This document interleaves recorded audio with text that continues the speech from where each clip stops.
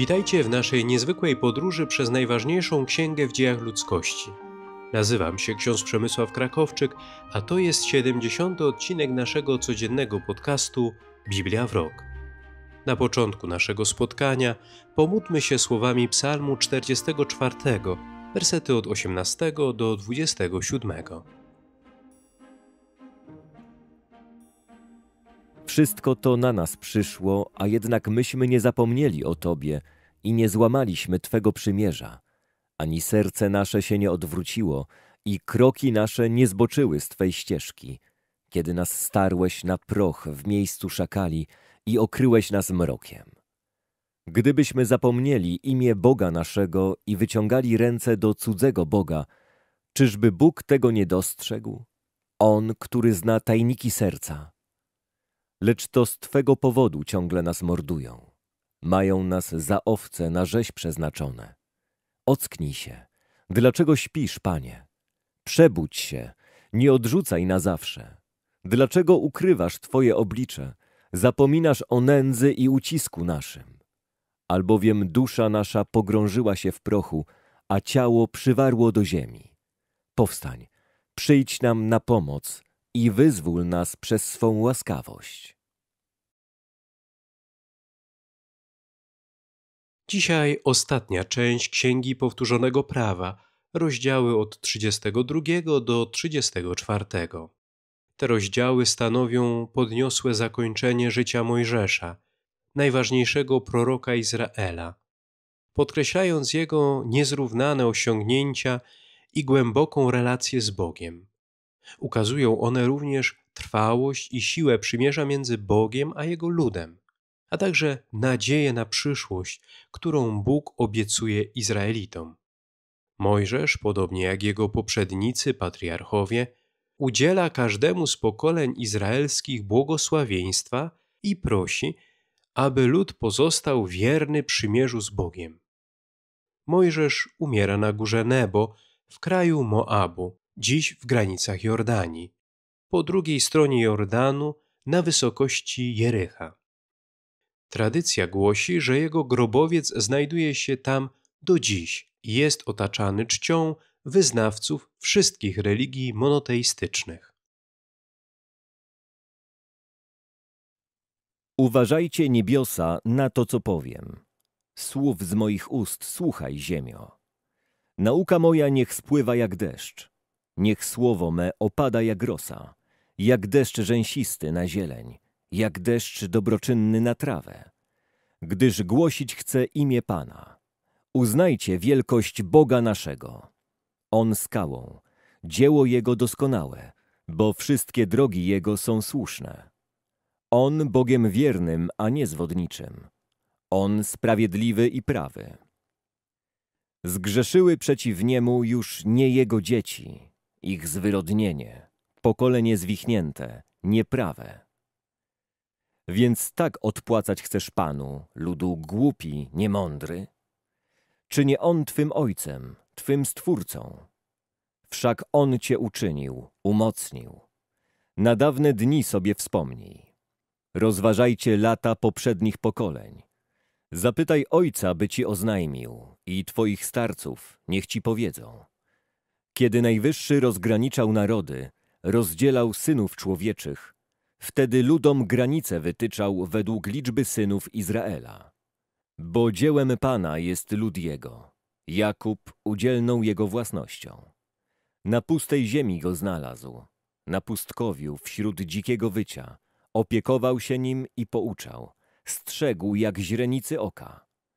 Jak orzeł, co gniazdo swoje ochrania, nad pisklętami swoimi krąży, rozwija swe skrzydła i bierze je, na sobie samym je nosi.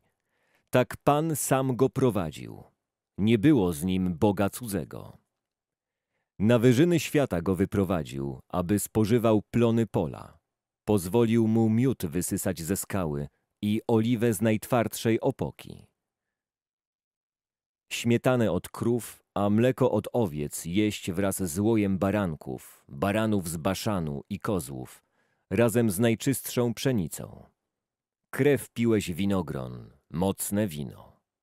Utył Jeszurun i wierzga, grubyś, tłusty i otyły. Boga, stwórcę swego, porzucił. Zelżył skałę, swoje ocalenie. Bogami cudzymi do zazdrości go pobudzają i gniewają obrzydliwościami. Złym duchom składają ofiary, nie Bogu. Bogom, których oni nie znają, nowym, świeżo przybyłym, nie służyli im wasi przodkowie. Gardzisz skałą, co ciebie zrodziła. Zapominasz o Bogu, który dał ci życie. Zobaczył to Pan i wzgardził, oburzony na własnych synów i córki, i rzekł: Odwrócę od nich oblicze. Zobaczę ich koniec, gdyż są narodem niestałym, dziećmi, w których nie ma wierności. Mnie do zazdrości pobudzili tym, co wcale nie jest Bogiem. Rozjątrzyli mnie swymi czczymi bożkami. I ja ich do zazdrości pobudzę nie ludem. Rozjątrzę ich narodem pozbawionym rozsądku. Zapłonął żar mego gniewu, co sięga do głębin Szeolu. Pożera ziemię z plonami, podwaliny gór zapala. Zgromadzę nad nimi nieszczęścia, wypuszczę na nich swe strzały. Zamorzy ich głód, gorączka ich strawi i złośliwa zaraza. Wbije w nich kły dzikich zwierząt z jadem tych, co pełzają w prochu. Na dworze miecz będzie ich pozbawiał dzieci, a przerażenie po domach. Tak młodzieńców jak panny, niemowlę ssące i starca. I rzekłem, ja ich wytracę, wygubię ich pamięć u ludzi. Ale się bałem drwiny wroga, że przeciwnicy ich będą się łudzić, mówiąc, nasza ręka przemożna, a nie Pan uczynił to wszystko.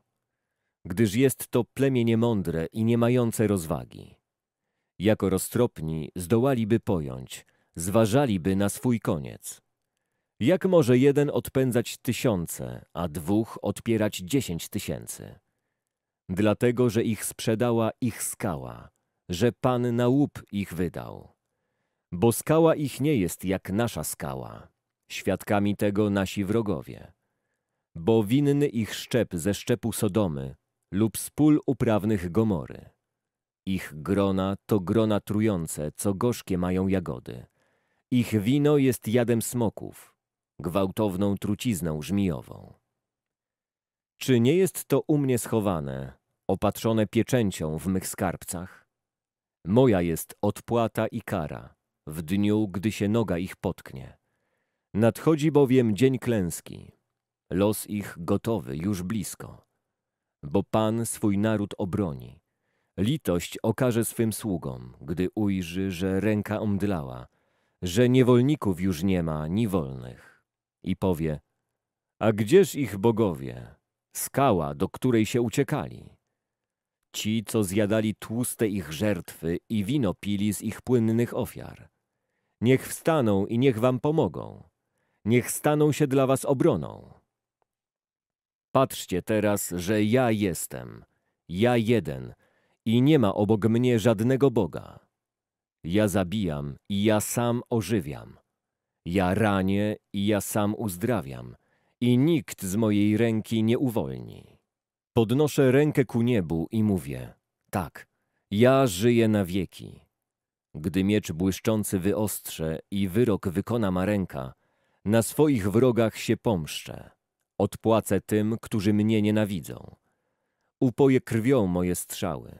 Mój miecz napasie się mięsem, krwią poległych i uprowadzonych, głowami dowódców nieprzyjacielskich. Chwalcie, narody, lud Jego, bo On odpłaci za krew swoich sług.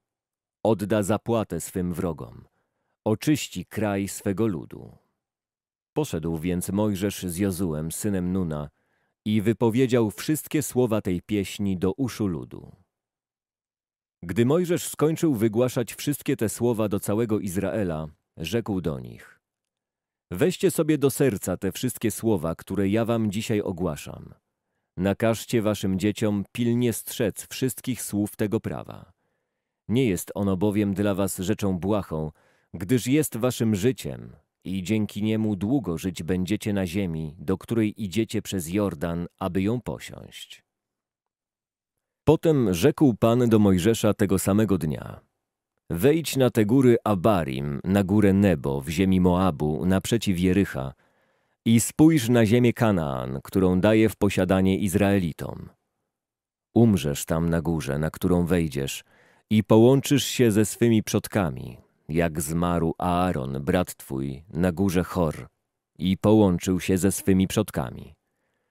Ponieważ nie byliście mi wierni wśród Izraelitów przy wodach Meriba pod Kadesz, na pustyni Sin, nie objawiliście mej świętości wśród Izraelitów. Dlatego tylko z daleka ujrzysz tę ziemię, lecz ty nie wejdziesz tam, do tej krainy, którą ja daję Izraelitom. Oto błogosławieństwo, które wypowiedział Mojżesz, mąż Boży, nad Izraelitami przed swoją śmiercią. Rzekł, Pan przyszedł z Synaju i z Seiru dla nich zajaśniał. Zabłysnął z góry Paran. Przybywa z Meriba koło Kadesz. W prawicy ogień płonący. On kocha swój lud. Wszyscy jego święci są w jego ręku. U nóg Twoich oni usiedli, słowa Twoje przyjmują. Mojżesz dał nam prawo, dziedzictwo społeczności Jakuba. Był król w Jeszurunie, gdy się zeszli książęta narodu, zgromadziły się pokolenia Jakuba. Niech żyje Ruben, niech nie umiera, niech żyje, choć liczbą niewielki. To powiedział do Judy. Usłysz, Panie, głos Judy, doprowadź go do jego ludu. Niech Twoje ręce go obronią, bądź dlań obroną od wrogów. Do Lewiego powiedział, Twoje Tummim i Urim są dla oddanego Ci męża. Wypróbowałeś go w Massa. Spierałeś się z nim u wód Meriba. O ojcu swym on mówi i o matce. Ja ich nie widziałem. Nie zna już swoich braci.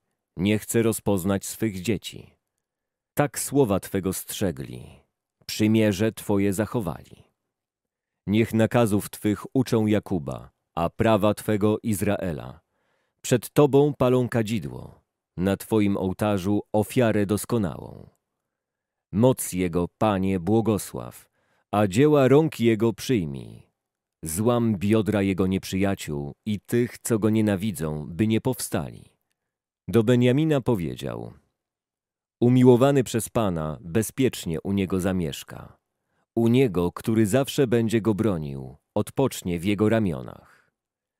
Do Józefa powiedział, Jego ziemia błogosławiona przez Pana, przez bogactwo niebios, przez rosę, przez źródła otchłani podziemnej, przez bogactwo darów słońca, przez bogactwo plonów miesięcy, przez skarby z gór starożytnych, przez bogactwo odwiecznych pagórków, przez bogactwo z ziemi i plonów. Łaska tego, co mieszka w krzewie, niech stąpi na głowę Józefa, na skroń księcia swych braci. Oto jego byk pierworodny, cześć jemu. Jego rogi, rogami bawołu. Bije nimi narody aż po krańce ziemi. Oto miriady Efraima, oto tysiące Manassesa. Do Zabulona powiedział, Zabulonie, ciesz się na swoich wyprawach, i ty, i Sacharze w swoich namiotach. Zwołują narody na górę, by złożyć tam prawe ofiary, gdyż z bogactwa morza będą korzystać i ze skarbów w piasku ukrytych. Do Gada powiedział, szczęśliwy, kto da miejsce Gadowi. Odpoczywa jak lwica, rozdarł ramię i głowę. Rzeczy najlepszych pożąda dla siebie, pragnie działu dowódcy, chce kroczyć na czele narodu. Sprawiedliwość Pana wypełnił i jego sądy nad Izraelem. Do Dana powiedział, Dan jest lwiątkiem, które się rzuca z Baszanu. Do Neftalego powiedział, Neftali łaską nasycony, pełen jest błogosławieństw Pana, morze i południe posiądzie. Do Asera powiedział, Aser błogosławiony wśród synów, niech będzie kochany przez braci, niech kąpie nogę w oliwie. Twe zawory z żelaza i brązu, jak dni Twoje, moc Twoja trwała. Do Boga Jeszuruna nikt niepodobny, by Tobie pomóc, cwałuje po niebie, po obłokach w swym majestacie. Zwycięzcą jest Bóg odwieczny. Zniża swą broń on od wieków, by odpędzić wroga przed Tobą. To on woła, wyniszcz. Izrael zamieszkał bezpiecznie. Na osobności jest źródło Jakuba. Na ziemi zboża i moszczu niebiosa zsyłają mu rosę. Izraelu, tyś szczęśliwy, któż Tobie podobny? Narodzie zbawiony przez Pana, obrońca Twój Tobie pomaga. Błogosławi zwycięski Twój miecz. Wrogowie słabną przed Tobą, Ty zaś wyniosłość ich depczesz.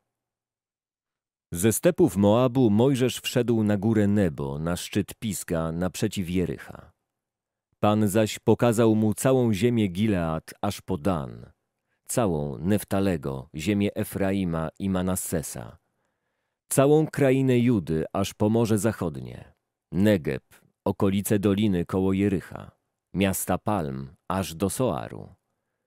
Rzekł Pan do niego – Oto kraj, który poprzysiągłem Abrahamowi, Izaakowi i Jakubowi tymi słowami.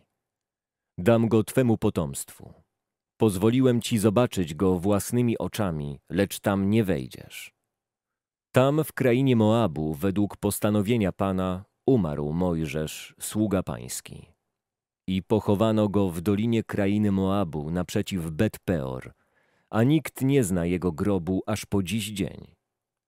W chwili śmierci miał Mojżesz 120 lat, a wzrok jego nie był przyćmiony i siły go nie opuściły.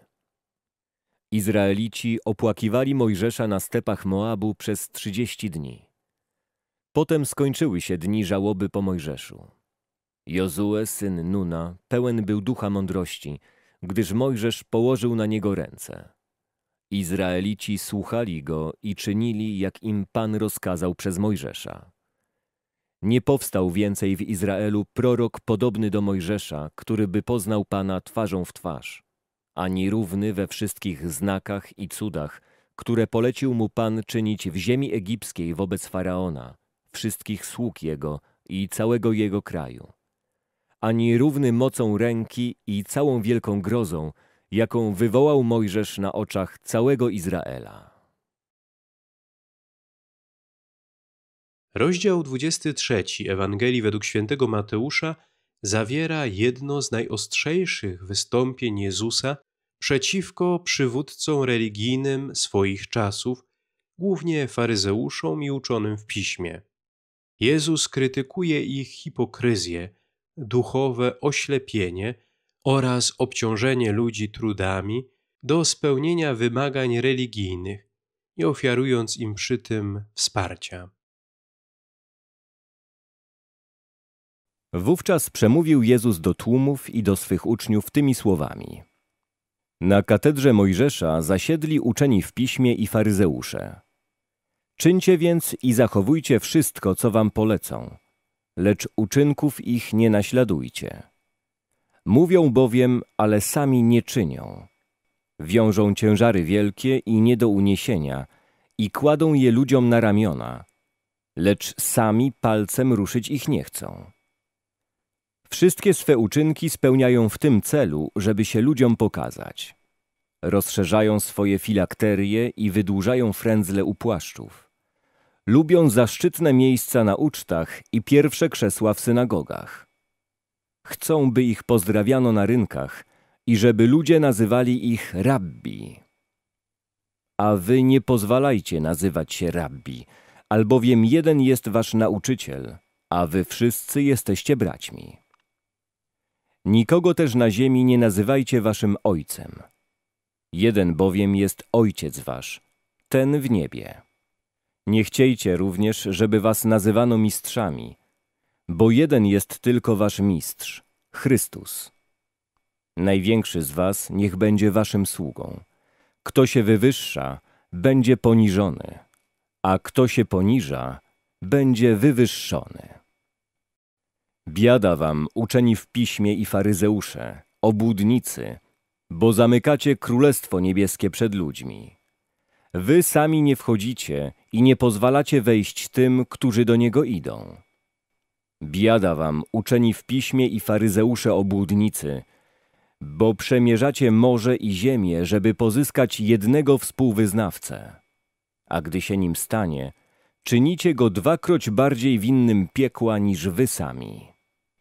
Biada wam, przewodnicy ślepi, którzy mówicie, kto by przysiągł na przybytek, nic to nie znaczy. Lecz kto by przysiągł na złoto przybytku, ten jest związany przysięgą. Głupi i ślepi, cóż bowiem jest ważniejsze? Złoto czy przybytek, który uświęca złoto? Dalej, kto by przysiągł na ołtarz, nic to nie znaczy. Lecz kto by przysiągł na ofiarę, która jest na nim, ten jest związany przysięgą. Ślepcy, cóż bowiem jest ważniejsze? Ofiara czy ołtarz, który uświęca ofiarę? Kto więc przysięga na ołtarz, przysięga na niego i na wszystko, co na nim leży. A kto przysięga na przybytek, przysięga na niego i na tego, który w nim mieszka. A kto przysięga na niebo, przysięga na tron Boży i na tego, który na nim zasiada. Biada wam, uczeni w piśmie i faryzeusze obłudnicy, bo dajecie dziesięcinę z mięty, kopru i kminku, lecz zaniedbaliście to, co ważniejsze jest w prawie – sprawiedliwość, miłosierdzie i wiarę. To zaś należało czynić, a tamtego nie zaniedbywać. Ślepi przewodnicy, którzy przecedzacie komara, a połykacie wielbłąda. Biada wam, uczeni w piśmie i faryzeusze obłudnicy, bo dbacie o czystość zewnętrznej strony kubka i misy, a wewnątrz pełne są zdzierstwa i niepowściągliwości. Faryzeuszu ślepy, oczyść wpierw wnętrze kubka, żeby i zewnętrzna jego strona stała się czysta. Biada wam, uczeni w piśmie i faryzeusze obłudnicy, bo podobni jesteście do grobów pobielanych, które z zewnątrz wyglądają pięknie, lecz wewnątrz pełne są kości trupich i wszelkiego plugastwa. Tak i wy z zewnątrz wydajecie się ludziom sprawiedliwi, lecz wewnątrz pełni jesteście obłudy i nieprawości. Biada wam, uczeni w piśmie i faryzeusze obłudnicy, bo budujecie groby prorokom i zdobicie grobowce sprawiedliwych oraz mówicie Gdybyśmy żyli za czasów naszych przodków, nie bylibyśmy ich wspólnikami w zabójstwie proroków. Przez to sami przyznajecie, że jesteście potomkami tych, którzy mordowali proroków. Dopełnijcie i wy miary waszych przodków. Węże, plemię żmijowe, jak wy możecie ujść potępienia w piekle? Dlatego oto ja posyłam do was proroków, mędrców i uczonych. Jednych z nich zabijecie i ukrzyżujecie. Innych będziecie biczować w waszych synagogach i przepędzać z miasta do miasta. Tak spadnie na was cała krew niewinna przelana na ziemi, począwszy od krwi Abla Sprawiedliwego, aż do krwi Zachariasza, syna Bachariasza, którego zamordowaliście między przybytkiem a ołtarzem. Zaprawdę powiadam wam, przyjdzie to wszystko na to pokolenie. Jeruzalem, Jeruzalem! Ty zabijasz proroków i kamienujesz tych, którzy do ciebie są posłani. Ile razy chciałem zgromadzić twoje dzieci, jak ptak swoje pisklęta gromadzi pod skrzydła, a nie chcieliście. Oto wasz dom zostanie wam pusty. Albowiem powiadam wam, nie ujrzycie mnie odtąd, aż powiecie, błogosławiony ten, który przychodzi w imię Pańskie. Dziękuję za uwagę i zapraszam na jutrzejszy odcinek podcastu Biblia w rok. Do usłyszenia.